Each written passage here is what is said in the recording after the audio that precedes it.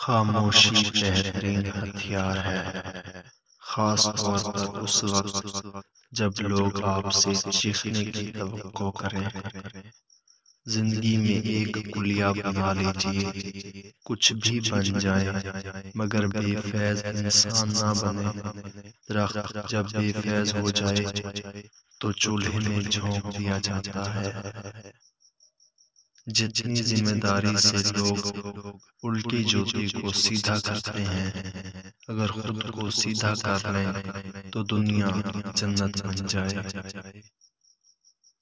تمیزدار اور باشعور ہونے کا ایک نقصان یہ بھی ہے کہ ہزاروں باتیں دل میں رہ جاتی ہیں۔ عزت پانے کے لیے عزت کرنی پڑتی ہے۔ زندگی میں سب لوگ رشتہ دار یا دوست بن کر نہیں آتے کچھ لوگ سبق بن کر آتے ہیں۔ انسان مرتا نہیں مار دیا جاتا ہے۔